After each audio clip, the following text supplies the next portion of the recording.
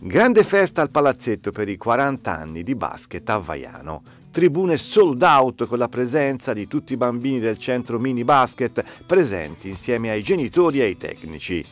Il nuovo centro mini basket Val di Bisenzio raccoglie l'eredità della storica CDP Vaiano ai tempi d'oro targata FT. Dal 1982 al 2022, 40 anni di storia per il basket a Vaiano. Questi 40 anni hanno visto tante gioie, tanti successi, ora dopo qualche anno un attimo di stand by per via dell'epidemia da Covid, ora si cerca di ripartire nella maniera migliore possibile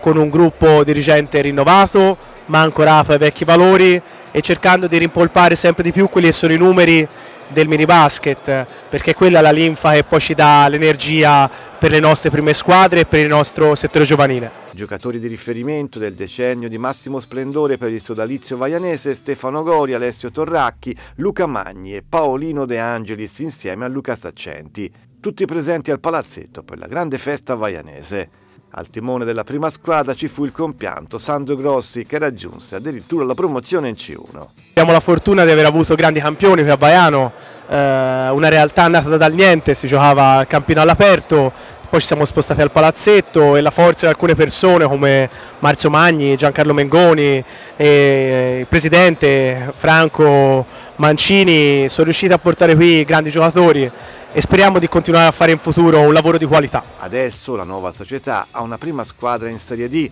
allenata da Giulio Gambassi, una squadra nel torneo WISP e quattro squadre under, oltre a quattro squadre affiliate al mini basket. Si cerca di coinvolgere i ragazzi anche nelle attività interne della palestra, abbiamo un gruppo di tifoseria eh, diciamo capitanato da alcuni ragazzi,